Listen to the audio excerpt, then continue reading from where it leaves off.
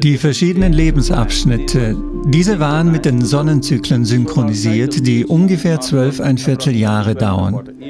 Mit jedem Sonnenzyklus sollte sich der Zyklus deines Lebens verlagern. Wenn du diese Bewusstheit einfach in deinen Kindern erwächst, werden sie mit viel mehr Weisheit damit umgehen.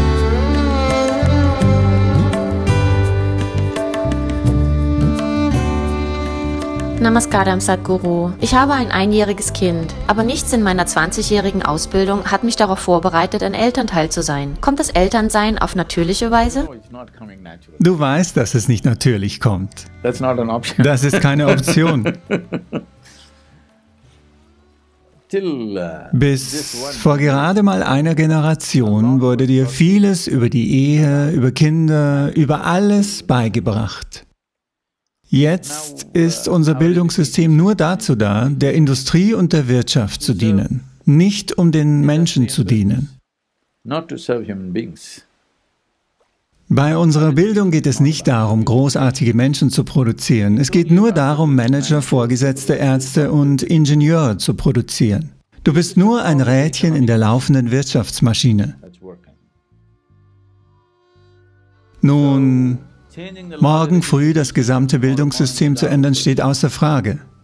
Aber du könntest es für dich selbst und für deine Kinder ändern, wenn du gewillt bist. Es gab etwas, das Varnashramadharma genannt wurde, was die verschiedenen Lebensabschnitte sind, auf die ein Mensch vorbereitet werden musste. Von 0 bis 12 wurde als Balavasta angesehen. In dieser Zeit sollte ein Kind nichts tun. Er muss nur essen, spielen, schlafen. Kein ABC, kein 1, 2, 3, kein gar nichts. Denn bevor das Gehirn zu einer gewissen Größe aufblüht, es dann mit Informationen zu füttern oder ihm irgendeine Art von Zweck, irgendeine Art von Zweck in seinem Bereich einzubringen, wird die Möglichkeit zerstören, seine volle Größe zu erreichen. In Indien, überall vielleicht, haben die Mangobauern einen bestimmten Prozess. Du wirst sehen, wenn man Mangosetzlinge pflanzt, fangen die Mangobäume oder Pflanzen ab dem zweiten Jahr an zu blühen. Hast du das bemerkt? Im zweiten oder dritten Jahr definitiv voller Blüten. Der gewissenhafte Mangobauer wird also im Januar, Februar daran gehen, jede Blüte abzupflücken, damit sie nie zur Frucht werden.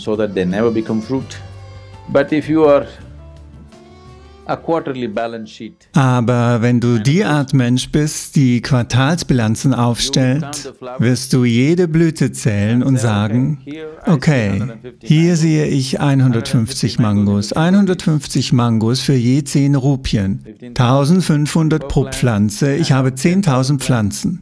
Du wirst ihnen erlauben, Früchte zu tragen. Ohnehin werden sie nicht gut gedeihen, aber sie können Früchte tragen. Aber wenn du das tust, wird dieser Baum nie zu voller Größe heranwachsen. Er wird nie sein volles Potenzial erreichen. Also sogar bei Pflanzen wissen wir das. Warum wissen wir das bei Kindern nicht? Wir wissen es, aber wir wollen, dass unsere Kinder ein bisschen besser sind als die Nachbarskinder, was eine ernsthafte Krankheit ist, die wir haben. Ja, unser Problem ist, die Kinder unseres Nachbarn sagen, bereits Dreijährige sagen, ich möchte Arzt werden. Das bedeutet also, du willst, dass die ganze Welt krank ist. Wenn ein dreijähriges Kind sagt, ich möchte Arzt werden, sagt jeder, oh, das Kind meines Nachbarn, er möchte Arzt werden. Hey, was willst du werden? Ich weiß es nicht. Na, hey, sag wenigstens irgendwas. At least say something.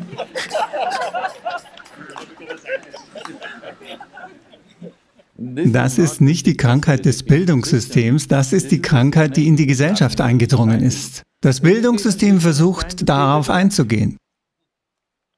Das ist einmal vorgekommen. Ich leite ein Kursprogramm in Chennai. Und etwas ereignete sich. Und wir haben die Leute gebeten, mitzuteilen, was an dem Tag passiert ist. Dieser Mann mit einem wirklich ernsten Gesicht, traurig, sagt, meine Tochter, sie macht ihre Hausaufgaben nicht. Ich bin wirklich um ihre Zukunft besorgt. Was wird mit ihr geschehen? Wie soll ich? Ihr wisst schon so viele Dinge, sagte er. Ich dachte, vielleicht ist seine Tochter an der Universität. Irgendwelche Ärger, ihr wisst schon, nun gut. Dann fragte ich einfach, wie alt ist das Mädchen? Er sagte viereinhalb. Ich sagte, du Idiot. Erstens, sie sollte noch nicht einmal zur Schule gehen. Und jetzt bist du darüber besorgt, dass sie ihre Hausaufgaben nicht macht und du machst dir Sorgen um ihre Zukunft. Welchen Job wird sie bekommen? Wer wird sie heiraten? Von daher, wir müssen diesen Trend in der Gesellschaft ändern. Zumindest in eurem Leben, dass eure Kinder keine Produkte sind. Wann werden sie etwas produzieren? Nein.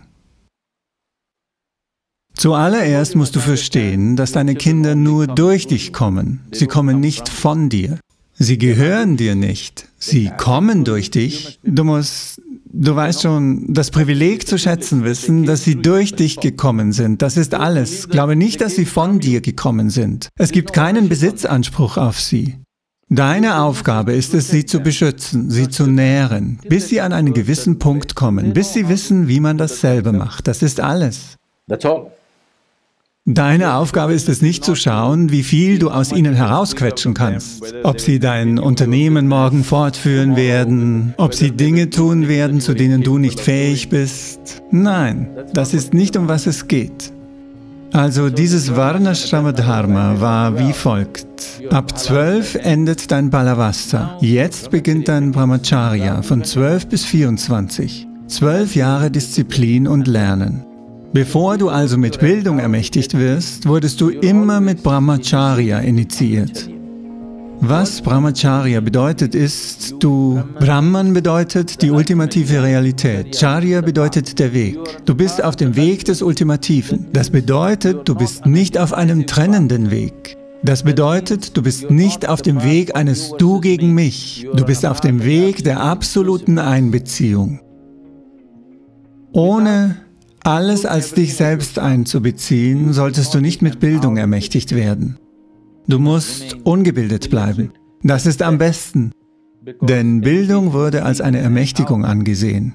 Wenn du in einer trennenden Art und Weise ermächtigt bist, was wir mit der modernen Welt gemacht haben, wird jede wissenschaftliche Erkenntnis und Technologie, die aufkommt, als erstes militärisch genutzt. Warum? Meine Nation gegen deine Nation. Mein Vater ist besser als dein. Mein Gott ist besser als dein Gott. Mein Vater ist besser als dein Vater. Denn sobald diese Trennung da ist und du ermächtigt wirst, ist alles, was passieren wird, dass die Hässlichkeit ermächtigt wird. Vor der Bildung kommt deshalb als erstes Brahmacharya. Zwölf Jahre, zwölf ein Vierteljahre lang, diese waren mit den Sonnenzyklen synchronisiert, die ungefähr zwölf ein Vierteljahre dauern. Mit jedem Sonnenzyklus sollte sich also der Zyklus des Lebens verlagern. Die ersten zwölf, zwölf ein Vierteljahre sind Balavasta. Sobald du das überschreitest, sind die zweiten für Lernen und Disziplin. Sobald du das überschreitest, im Alter von 24, entscheidest du, ob du eine familiäre Lebensweise eingehen möchtest oder dich auf dem spirituellen Pfad gestalten willst. Aus freien Willen, nicht durch gesellschaftliche Zwänge. Jedes Individuum entsprechend seinen eigenen Wesenszügen. Nun, wenn du auf eine solche Art gemacht bist, dass dich die Gegensätze anziehen, gehst du damit in einer organisierten Art und Weise um. Du heiratest und Kinder, dieses, jenes wird passieren. Für die nächsten 24 Jahre bist du in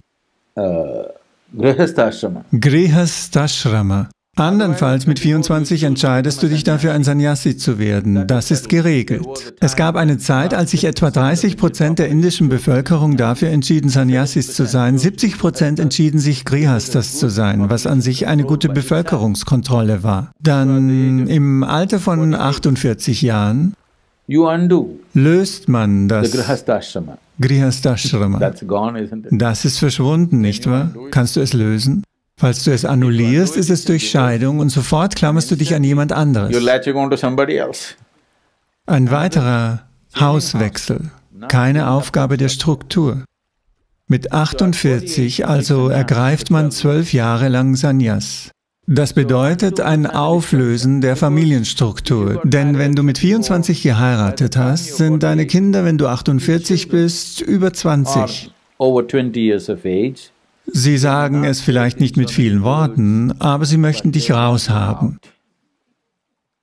Entweder wollen sie weggehen oder du musst weggehen. Heutzutage entscheidet man sich dafür, dass sie weggehen müssen, nach amerikanischer Art. Aber in Indien entschieden sich die Eltern dafür wegzugehen. Sobald die Kinder das Alter von 20, 24 Jahren überschritten hatten, zogen die Eltern aus. Das zu tun ist eine vernünftige Sache. Ehemann und Ehefrau, die also 24 Jahre lang zusammengelebt haben, sie trennten sich. Bewusst. Nicht, weil sie Streit haben. Bewusst trennten sie sich und es gab Einrichtungen, in denen sie für die nächsten zwölf Jahre ihrem spirituellen Prozess nachgehen konnten.